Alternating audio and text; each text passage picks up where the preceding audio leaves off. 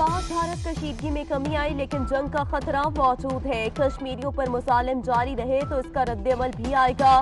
D G I, S P R, major general Asif Ghafoor کا۔ امریکی T V کو interview میں کہنا ہے کہ بھارت نے پاکستان کی فضائی حدود کی خلاف ورزی کی، جس کا پاکستان نے جواب دیا۔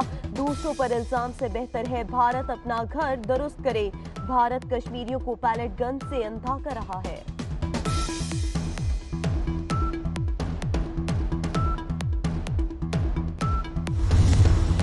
کمپنی کا پاکستان میں دو ارب ڈالر کی سرمایہ کاری کا اعلان۔ وزیر اعظم عمران خان سے ایک سی ایم ایچ گروپ کے جنرل مینیجر ہینسن ڈیو کی ملاقات۔ کمپنی کا پچاس لاکھ گھروں کی اسکیم میں بھی دلچسپی کا اظہار۔ وزیر اعظم کا سرمایہ کاری کے اعلان کا خیر مقدم۔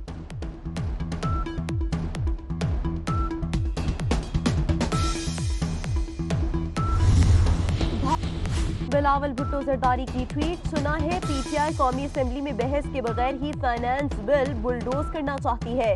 فائنانس بل کا بلڈوز کیا جانا سپیکر قومی اسمبلی کا حقیقی امتحان ہے۔ دیکھتے ہیں سپیکر قواعد کی خلاف ورزی کی اجازت دیتے ہیں یا نہیں۔ محکمہ ایکسائز کی ٹوکن ٹیکس ٹرانسفر فیس اور ٹول ٹیکس ختم کرنے کی تجویز۔ گاڑیوں، موٹر سائیکل سے پیٹرول قیمت میں ایک روپیہ وصول کرنے کی تجویز تیار۔ ڈی جی ایکسائز کا کہنا ہے کہ ٹیکس کے نفاذ سے بارہ ارب سے زائد کی رقم وصول ہو سکے گی۔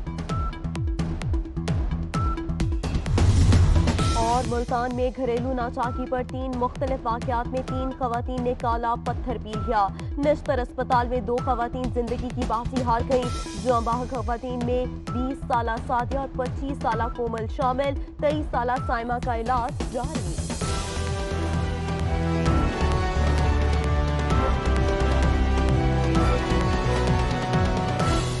لاہور میں خواجہ سراؤ نے پولیس کے خلاف احتجاج کیا۔ خواجہ سراؤں نے الزام عائد کیا ہے کہ پولیس کی جانب سے گرفتاریوں بلا وجہ ہے۔ اشارہ پر بھیک مانگنے والے خواجہ سراؤں کے خلاف مقدمات درج کیے جا رہے ہیں اور احتجاج جو ہے اس وقت بھرپور طریقے سے کیا جا رہا ہے۔ مناظر بھی ہیں، آپ دیکھ سکتے ہیں جو انتظامی کی جانب سے جب یہ احکامات جاری ہوئے کہ اشاروں پر بھیک مانگنے کے حوالے سے اقدامات کیے جائیں تو اس کے بعد خواجہ سراؤں کے خلاف بھی آپریشن اس وقت کیا گیا جس پر اس وقت وہ سراپا احتجاج ہیں۔